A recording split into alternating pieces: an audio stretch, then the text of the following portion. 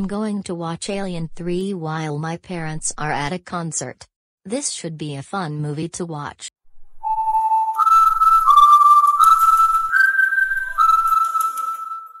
Wow. That 1992 Alien installment directed by David Fincher and starring Sigourney Weaver was very thrilling and intense.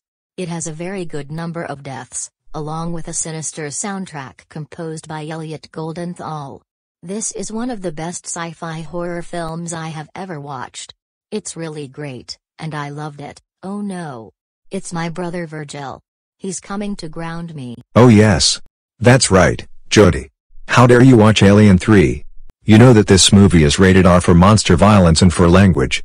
And plus, it is way too dark and scary. You are not mature enough to watch it at all. But Virgil.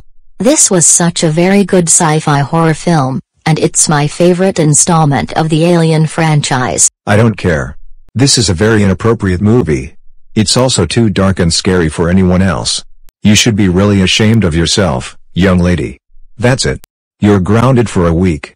There will be no TV, no video games, no computer, no restaurants, no rated R and NC-17 movies, no junk food, no activities that you like, no amusement parks, no water parks, no music, no vacations, no sports, no hanging out with your friends, no concerts, no family outings, and no other things.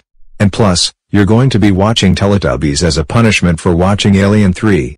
No no no no no no no no no no no no no no no no no no no.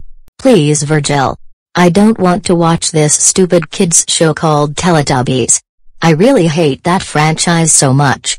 I'm so sorry for watching Alien 3. No. It's already too late for your apologies right now. You just Alien 3, and now, you're watching Teletubbies for your punishment. Now you better start watching this show right now, or else, you will be grounded for an even more extended period of time. Wow.